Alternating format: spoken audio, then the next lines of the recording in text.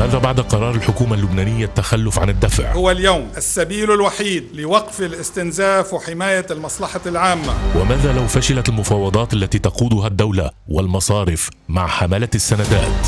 أين الخطة الإنقاذية؟ وما أبرز عناوينها؟ هموم المواطنين من الغلاء إلى الاحتكارات كيف ستتصدى لها الحكومة؟